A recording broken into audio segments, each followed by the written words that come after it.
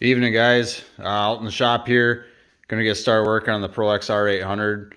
I had told myself that I was not going to be starting this project until I got done with all my other projects. Uh, but I've got my Ultra is apart in pieces. My Edge X is apart in pieces and plenty of other upgrades to do. But um, I ended up finding a person that would be willing to trade me the stock exhaust off of the Pro XR for the pipe that I want, so I'm going to be digging into this one a little bit early. Uh, I've been pretty notorious about not documenting what I've been doing and just kind of ripping and tearing into stuff, so I figured to give a quick walk around on this one before I start ripping and tearing too much and uh, make sure that I can kind of show what I started with. So I've been lucky enough to bring home this Pro XR. Uh, as you can see, it's a 04 Pro XR 800. Um, really nice straight body on it, uh, but it does have some items that are going to need some attention. Um, it's been extended to a 136, which I actually kind of like. Uh, I have a bunch of 121s and no extended tracks, so um, I actually do like that. It's got an SLP extension on it. I do believe I'm going to be swapping that out for Trax USA so I can extend the Hyfax as well. Uh, so if you know anybody that's looking for an SLP extension or wants to trade, I'd be willing to. Um, it's got the 405 springs and it's got the big boy springs in it right now. Um, I weigh 150 pounds soaking wet, so I will probably be putting stock torsion springs in it and will likely be revalving all of the Walker Evans shocks in it. Uh, it does have all the original shocks in it, so pretty excited about that.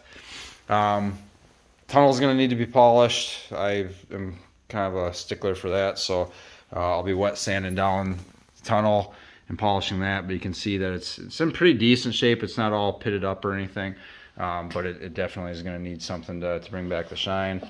Uh, covers off of it right now. I'm kicking around whether I have the, the heart to go ahead and cut out the tunnel to put an extra cooler in.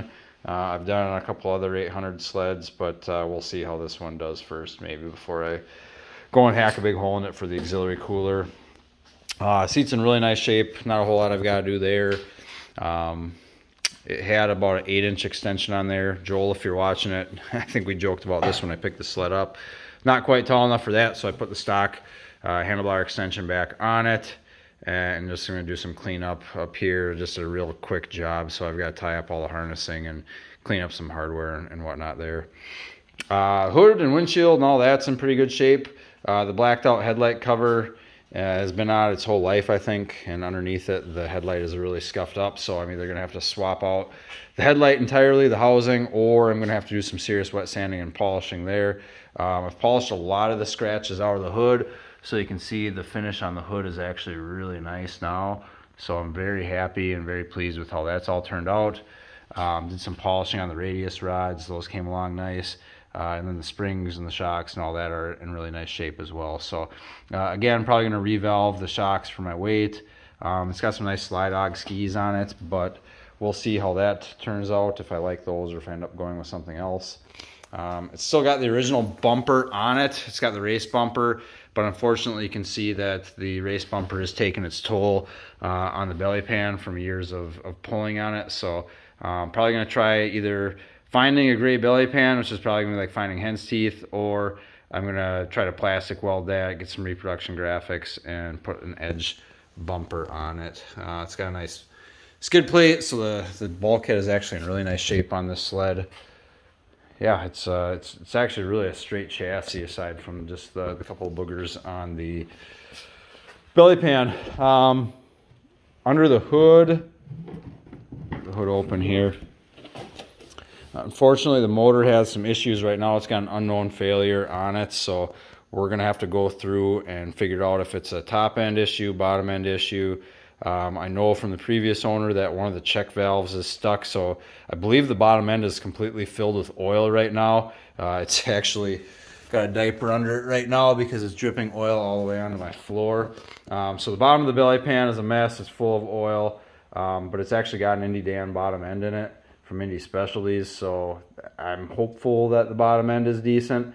Um, from looking down the cylinders of the borescope, it's got coolant in one of the cylinders, so I'm wondering if it didn't uh, munch a head gasket or, excuse me, munch an O-ring uh, and then eat up the, the mag side cylinder. So we'll dig into it, we'll figure it out, uh, but regardless, I, would rather deal with uh, fixing an engine than fixing a tweaked chassis. So um, this whole under hood area is going to get totally cleaned up uh, and everything's going to get taken completely apart and, and gone through and I'll probably go OCD on cleaning and, and replacing and replating stuff that that needs it. But uh, for right now, I'm going to take the original exhaust off. I, I, do know that this is the stock ceramic coated pipe on there, uh, but I, have had good luck with the hot seat pipe on my last Pro X 800, and that's what I'd like to put on it. So I have an opportunity to trade even up. Um, and then I'm also going to be picking up from a local gentleman a stock muffler.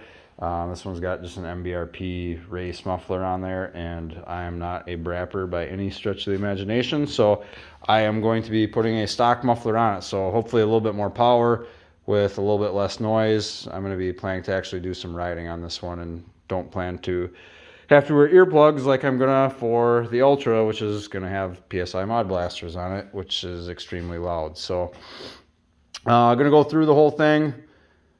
It's got a SLP air horn on it. I'm happy about that. It's got SLP pushing torque arms on it for PTO on the mag side. Uh, so it's got both sides on that. So really happy there. It's got some really nice upgrades throughout, but uh, just overall it's going to need some real good going through. I'll figure out if it ends up needing one or more check valves on it. Supposedly it's got stainless valves in it already. Um, yeah, I'm just going to have to give it a good once over. So this will be a long-term project. It's going to be uh, a summer project, but we'll see if I can't uh, keep everybody updated on as we go through it and get this thing back on the trail. It hasn't run for like five years uh, since it had that engine failure. But uh, as soon as we get it up and running, this is going to be one of my primary trail riders. So, uh, yeah, really excited about it. It's got some cosmetic stuff I got to go through, got some mechanical stuff, but uh, in the end, I think it'll all be worth it. So, Appreciate it, guys. Take care and have yourselves a good one.